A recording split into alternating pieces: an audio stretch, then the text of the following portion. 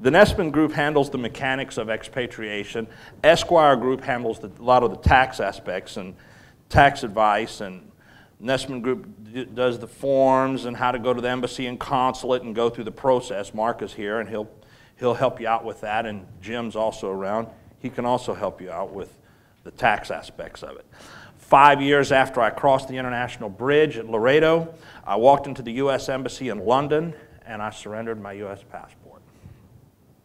Okay, since he has talked about, uh, Jim and Mark both have talked about expatriation, how to do it.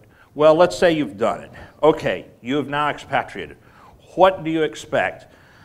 Well, be prepared, never, be emotionally prepared, be mentally prepared, never to be allowed to come back.